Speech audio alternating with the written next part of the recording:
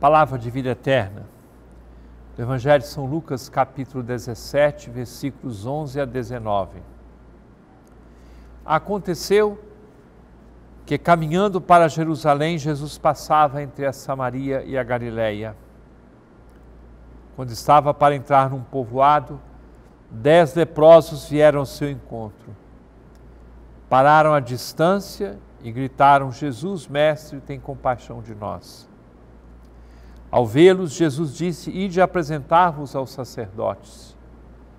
Enquanto caminhavam, aconteceu que ficaram curados. Um deles, ao perceber que estava curado, voltou glorificando a Deus em alta voz.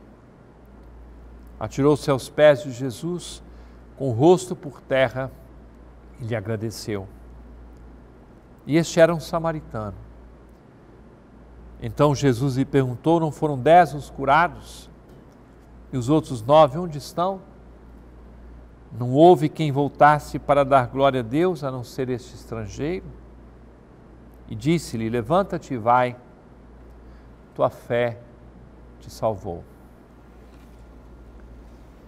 Caríssimo irmão, caríssima irmã, hoje é domingo, dia do Senhor para nós na Amazônia, é o dia do Círio de Nazaré.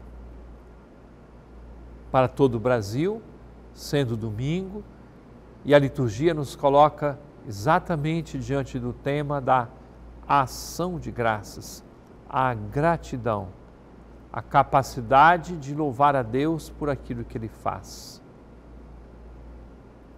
É tão lindo perceber como pessoas tantas vezes marcadas pela discriminação, pela exclusão, pessoas marcadas pela miséria ou talvez pelos vícios ou pelo pecado, mas encontrar nessas pessoas, quando descobrem a graça de Deus, que faz maravilhas em suas vidas, como essas pessoas experimentam a beleza da gratidão.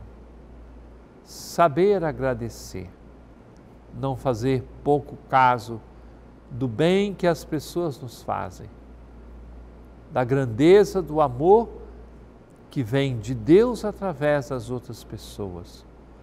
Gestos, palavras, atenção, carinho, perdão, compreensão.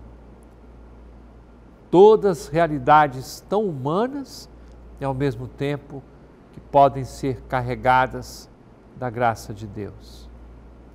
Neste domingo, tomemos posse do pedacinho de samaritano que existe em nós.